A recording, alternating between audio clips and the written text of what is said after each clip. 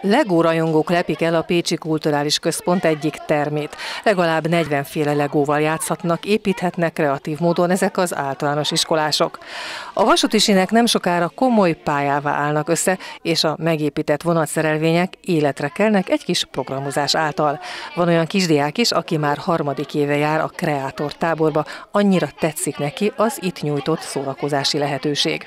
Hát itt a táborban ugye ilyen, egy ilyen vonatos projektet csináltunk a barátainkkal, hogy a vonatot, vonatokat irányítottuk a sinen, akkor azt felépítettük a sint.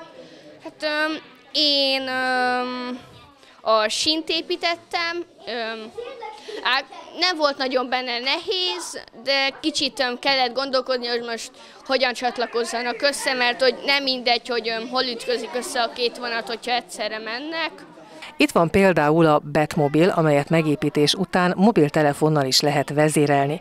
A kreátor táborban nem csak építenek a szünidős gyerekek, hanem kipróbálhatják a robotikát, programozást is. Ez a tábor a barkácsolni, szerelni szerető, fantázia gazdag gyerekeknek való. Ezek a gyerekek azért igaz, hogy alsósok, minden percüket szinte a legózással töltik, tehát már komolyabb legó játékokat is lehet nekik eh, bemutatni.